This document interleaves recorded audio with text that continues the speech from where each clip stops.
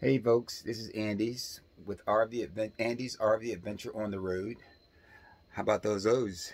Look like we're doing a pretty good job. Um, this is me working on my um, doghouse. Uh, I was gonna tear this out, and I'm turning it out. Um, I had carpet on it, and this is what covers the engine.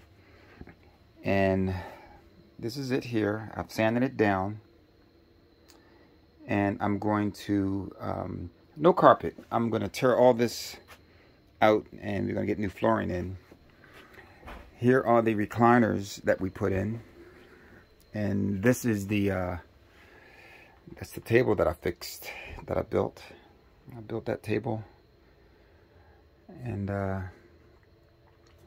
put the recliners in. I tore that it was a, a sofa bed there.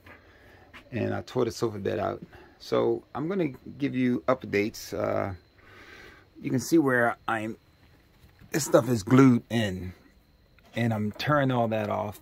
Uh, got to get some that's up under there. But ho, I'm just uh, giving you a little shot of uh, what Andy's RV Adventure on the road is doing. Um, we're heading into October and I'm going to be retiring from um, working, so things are going to be a little bit better for me um, as far as time-wise to get stuff done. Um, we got one more trip coming up uh, in October, so we're going to be heading down to Virginia.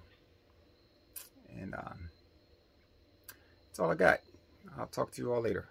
Bye.